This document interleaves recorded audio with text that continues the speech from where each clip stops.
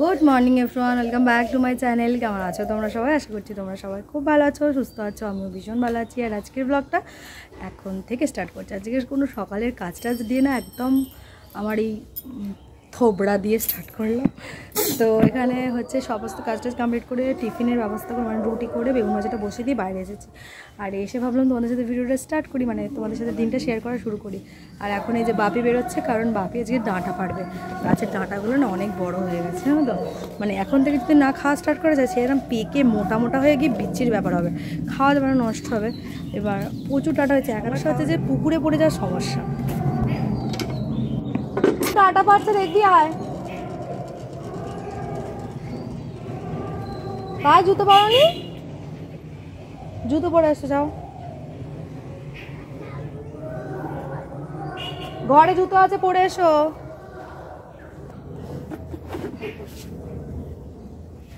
দেখো ভাবি, জলে টলে। হঠাৎ করে আজকে ওয়েদারটা দেখো না, কেমন হয়ে গেল। একটা মেঘলার মতো ওয়েদার হয়ে গেল। দেখো, জুতোটা স্লিপ করে না জানো? ওইভাবে সমস্যা, গাছটাও হয়েছে এমন জায়গায় না, চান করার সময় সবচেয়ে ভালো, ঠিকই বলেছ। ওলি, এসো। ওলি দাদু ডাঁটা পারছে জুতো পরো? হ্যাঁ। অলিকে বলছি, আয় অলি আসছে জুতো পায়ে। যে, আমার পুঁটকি। আমার পুঁটকি আসছে এখানে। মা দিঘিকে দোল দিচ্ছিল মাও আসছে একটু বেরিয়েছে। এই যে দেখো ডাঁটা পাড়ছে ওই দাদু ডাঁটা পাড়ছে ডাঁটাগুলো তোল। কটা ডাঁটা হয়েছে গোন? এই তো ডাঁটা। গোন.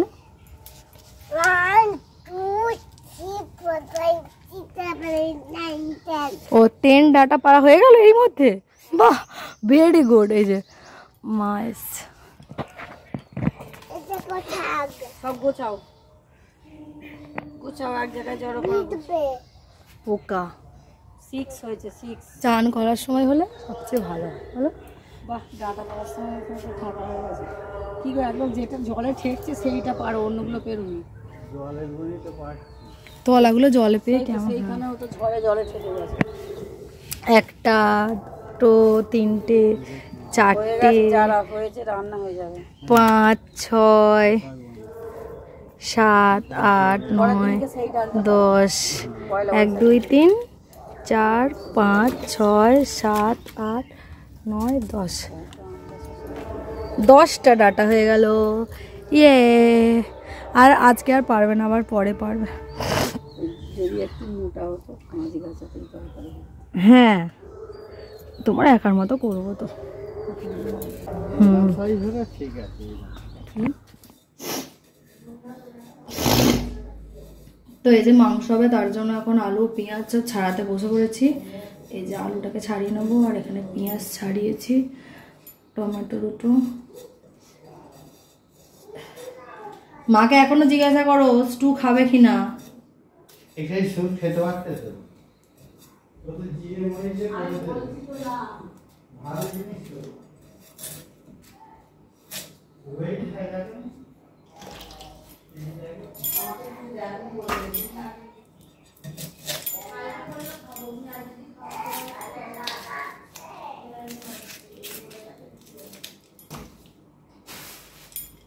কটা করে আলু দেবো বলতো?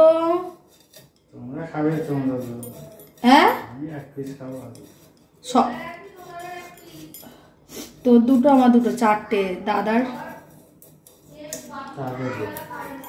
দাদার দুটো।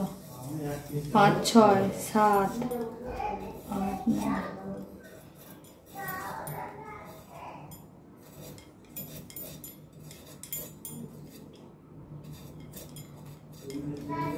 এখন রান্না হচ্ছে রান্নাঘরে প্রচুর ব্যস্ত আজকে, কারণ প্রথম কথা এইসব মানে মশলার জোগাড় টোগাড় করতে একটু দেরি হয়েছে।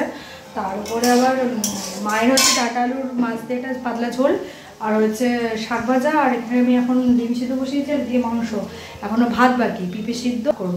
তো ভাতটা এখনও বাকি, এখানে এই যে পেঁপে আর চাল একদম ধুয়ে নিয়েছি। আর এখানে আমি এখন মাংসটা বসিয়েছি আর ডিম সিদ্ধ করছি মায়ের আর বোনের জন্য। চলো যে এখানে ডিম বয়েল হচ্ছে আর এখানে হচ্ছে মাংসের পেঁয়াজ ভাজা। তো মাংস তো মা খাবে না, মাংস আমাদের মতো। তো আমাদের মতো করে কষিয়ে করব।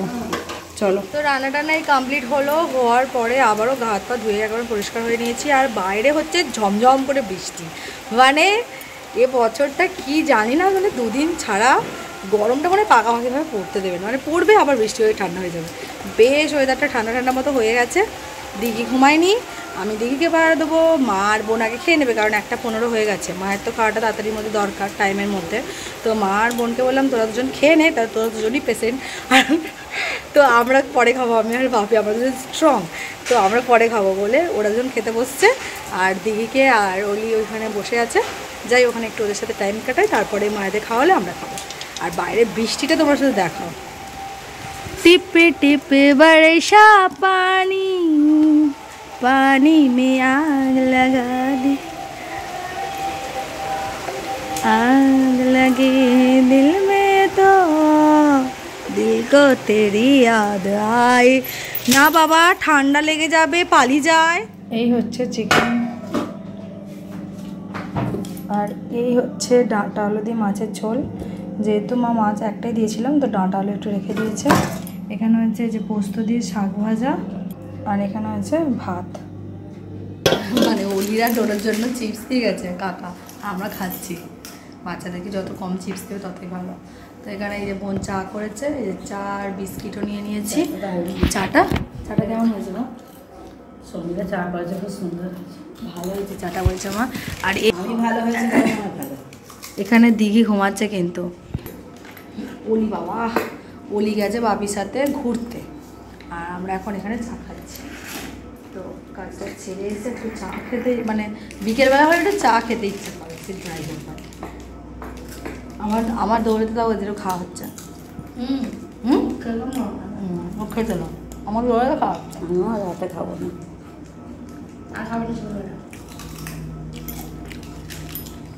দেখ চাটা এমন জিনিস না আমি করতে যাব যতবার খালি খেতে ইচ্ছা করবে করতে যাইনি বলে আরও খাওয়ার ইন্টারেস্ট হুম। আমি দেখেছি। রাত্রিবেলা এখন এই যে আমার দিঘি সোনাকে নিয়ে এখন ঘুরে বেড়াচ্ছে এই দেখো না দিঘি সোনা। আর আমার কাঁধটাকে যতবারে চাটছে। তো আর ইনি কাঁদছেন আর বসবেন না, এনার হচ্ছে একটা প্রবলেম উনি বসলেই বুঝতে পারছে, বসছি। সেজন্য কাঁদছে, ওই জন্য নিয়ে ঘুরতে হচ্ছে। খেয়ে এই যে মা, মায়ের কানের পর্দার ফুটোর জন্য মা সবসময় রুমাল বেঁধে থাকে। আর বড় হিসেবে মা ছানা রুটি খাচ্ছে। আর আমাদের এখানে চিকেনের ওবারে চিকেন ছিল, চিকেন আছে, চিকেন আর রুটি তো বাপি খাচ্ছে। আর আর ওলি এখানে ছোটোছুটি করছে, এই যে। সবাই যে একসাথে বসবো, সেই সব দিন এখন আর নেই। এখন এরকম পাটে পাটেই বসতে।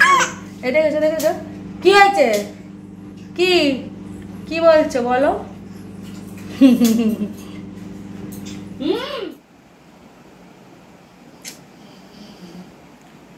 তোমরা কি ভাবছ যে আমার সাদা গোপ কিন্তু না গপের এখান থেকে এই জায়গাটা না কীরকম একটা টান মতো লেগে আছে, জ্বালা জ্বালা করছে মানে একটা অস্বস্তি লাগছে এই জায়গাটা থেকে।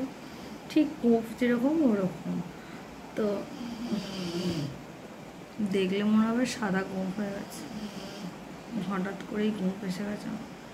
কিন্তু কিছু করার নেই, এইভাবেই লাগাতে হয়েছে। একটু বোরলিনটাকে হালকা করে গরম করেছি। করে লাগিয়েছি, দেখা যাক মানে এটা ঠিক হয় কিনা, কালকে সকালে ঠিক হয়েছে কিনা। মানে টান লাগছে জায়গাটা মনে হচ্ছে যেন চটচট করছে এরকম একটা। তো যাই হোক, এখন বাজে হচ্ছে পৌনে বারোটা। খাওয়া দাওয়া তো অনেক হয়ে গেছে।